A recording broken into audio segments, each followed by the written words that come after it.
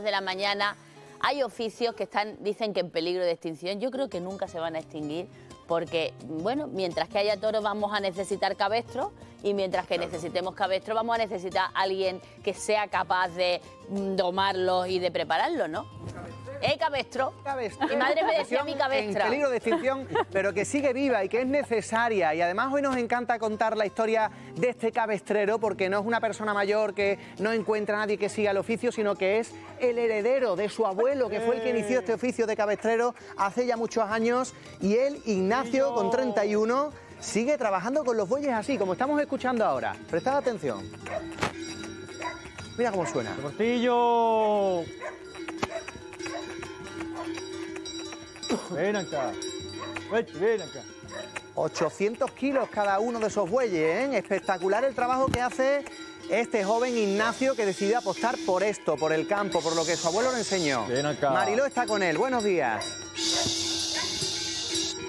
Buenos días, compañeros. Y yo lo primero que quería era que escuchara y fijaos bien en ese lenguaje, en cómo Ignacio le habla a los animales. Yo le preguntaba antes, ¿pero qué le dice? Sonidos, palabras, me dice que un poquito de todo, pero ese es el oficio del cabestrero. Es uno, Ignacio es uno de los últimos cabestreros de Andalucía. Vemos como cada cosa, cada orden que él le va dando a los animales, le van haciendo caso, van actuando como él les va indicando. Y para que nos quede claro a todos en qué consiste ese oficio del cabestrero, pues fíjate, el cabestrero es el que doma a los cabestros, como indica su propio nombre, en este caso son bueyes, con una finalidad, compañero, importantísima, que le obedezca, que haga caso a su voz, a cada una de sus órdenes y que así luego estos animales sirvan de herramienta entre Ignacio, entre el cabestrero y el ganado bravo, para poder manejar al ganado bravo. Como decía, es un oficio que está en peligro de extinción, que se está perdiendo, cada vez son menos las personas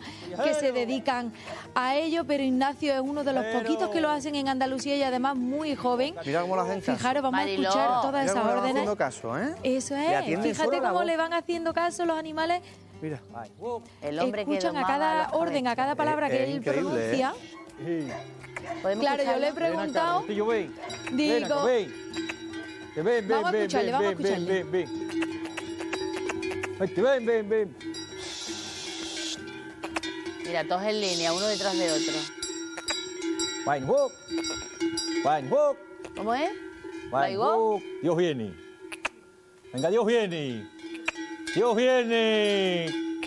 Y Venga, Dios viene. Tal cual. mira, mira, Toñi, cómo... Mira walk. Dios viene. walk. Eso es. Dios viene. Walk. Wine, wine, wine. Ole. Increíble. qué Yo bonito. creo que ahora ya sí que me puedo acercar un poco, Ignacio. Que yo, lógicamente, poco, ¿no? compañeros, todavía no me habéis visto a mí porque estoy manteniendo la distancia con los 500 animales metros. todavía. Mira. pues casi, casi, hasta que Ignacio me diga que me puedo acercar a él.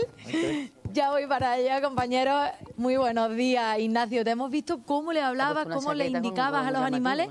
Y lo que nos ha dejado alucinado es que te hacen caso a cada cosa que le dices. Muy buenos días. Muy buenos días.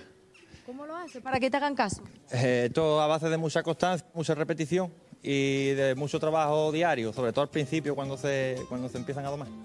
¿A qué edad empiezas a domar a los animales? Estos se empiezan a Ey. de las madres en torno a unos 8 o 9 meses de edad, el año, dependiendo. ¿Y cuánto se tarda en que te obedezcan tal y como hemos visto? Eh, eso depende del individuo en cuestión, pero normalmente, digamos, una media de una para que empiecen a funcionar medio bien. Tiene mucho trabajo, ¿verdad? Con los animales para que te obedezcan. Sí, claro, exactamente. No, el, el- el- el- la mayor, el, el mayor defecto, por decirlo de alguna manera, es el, la constancia que hay que tener, que, es, que es muy hay que ser muy constante y, y muy diario. Constante, Toñi, que le viene ahí. desde pequeñito, ¿eh? Que Ignacio me decía que no recuerda ni cuándo aprendió a domar animales, a domar a estos bueyes. A mí me encanta el lenguaje que me tiene que enseñar Ignacio para domar yo estos Sí. cabestros que tengo aquí. ¿eh? Vaya por Dios. Algunos tienen más peligro, algunos tienen más peligro que esos que están ahí. Bueno, ¿eh? se- eh, ah, fíjate, hay veces que se va un poquito el sonido porque entiendo que nuestro compañero, el cámara, eh, se ha puesto a una distancia prudente. No se puede Sí. acercar uno tanto porque el tamaño de, los- de- de los cuernos de, Es una barbaridad, eso impone. Eso impone muchísimo. Acércate, acércate, Claro, mi que compañero puesto... Joaquín está en el burladero, ¿eh?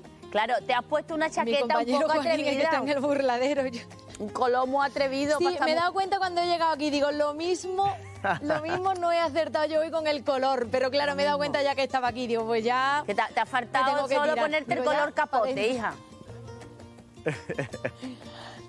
Pues mira, yo... Que Mira no lo pensaba, no lo pensaba esta mañana, Toño. Yo he salido No de casa... mueven. Es increíble, los tiene paralizados, ¿eh? Míralo. Ignacio, eh, Decía, ¿cuál, mira, cuál- Toñi, allá al fondo... Sí. Sí. ¿Cuál es, la, pala- ¿Cuál es el sonido que Sí, sí, ellos... dime. ¿Cuál es el sonido que ellos atienden para empezar a, a- a moverse? Para que te hagan, para que te sigan. ¿Cómo es el Eh, sonido? Yo, yo lo, lo llamo por su nombre al, al buey guía, que es este que está aquí. El, el- este se ¿Cómo llama se llama? revoltillo. Revoltillo. Rebortillo. Y lo, lo llamo para que venga detrás mía y le hago "Uy", a los otros y, y ya los otros lo siguen ahí. Ah, vale, él es el que hace de guía de todos los demás. Sí. Eh. La ha hecho bajito ¿Cómo para es? que no- ¿Cómo Por carácter. Eh, eh. La-. Sí. Eh, ahí está. Ahí está. Eh, eh, eh. Es, de- es que hay que hacerlo con su tono y sobre todo yo creo que reconocen Ojo, ya tu voz, ¿no. Ignacio? Reconocerán tu voz incluso, tu timbre de voz. No de la espalda. Cla- claro, claro, exactamente. Eh, el- los bueyes, eh, ellos conocen mi voz porque yo soy el que, el que los maneja. Es decir, si entrara otra persona, aunque le dijera las mismas órdenes que yo, el tono de voz ellos lo iban a, No les obedece. a diferenciar y no, y no le iban a hacer caso. Bueno, la algo, imagen no es una cuenta. belleza. La imagen, la verdad es que es una belleza, pero la, eh, eh, la belleza que tenéis en el margen de vuestra televisión, en el, en el margen inferior a la derecha, es Vela, que es nuestra americana de Kansas, que yo pedí solo un deseo este año. La tuvimos un día y dije, esta muchacha se tiene Una que sección. convertir ya en alguien importante en este programa. Ella nos hace ver Andalucía de otra manera. Eh, está aquí en Andalucía, ella flipando con Andalucía, nosotros flipando con sus ojos. Con ella, exactamente. ¿Eh? Eh, y, y- y visitando más cosas y, y contándonos más cosas. Vela, quería que estuvieras en este directo porque quiero que me, eh, que me digas qué te parece. Me, me parece esto increíble, la verdad, de la manera en que maneja unos animales tan grandes. Yo no he visto esto en mi vida, ¿eh?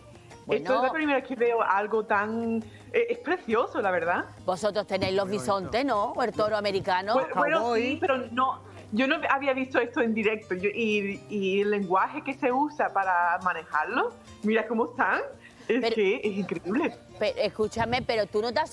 Yo es que, fíjate, vamos a empezar a comparar cultura. Te dijimos que te íbamos a sorprender con cosas que no has visto tú todavía, porque tú, a ti te ha Habéis sorprendido conseguido, lo habéis conseguido, Tony. La tostada de manteca colorada. La Desde que la probó no se vuelve ya- a, no, a- a Kansas vamos. ni muerta.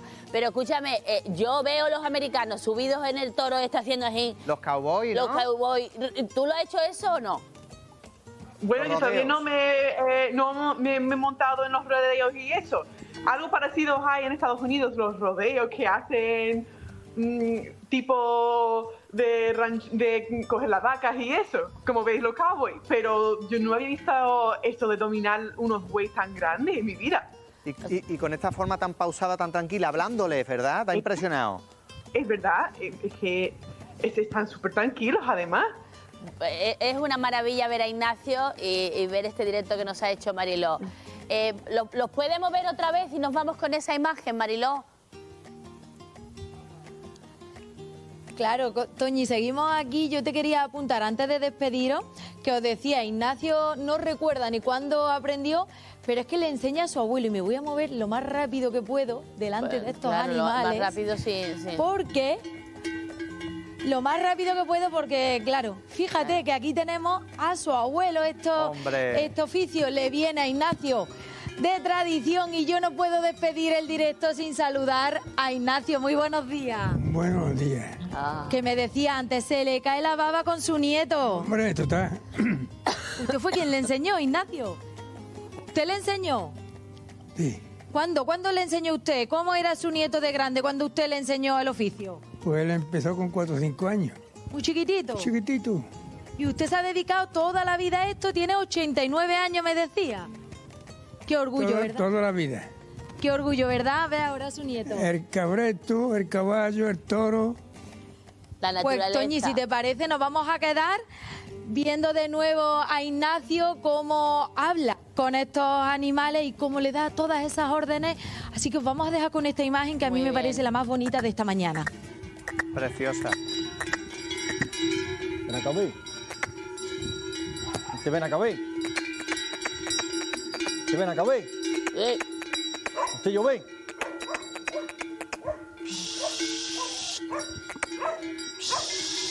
Bueno, una imagen preciosa, extraordinaria que le estamos regalando, estamos regalando a nosotros y a Vela, que está descubriendo en Andalucía.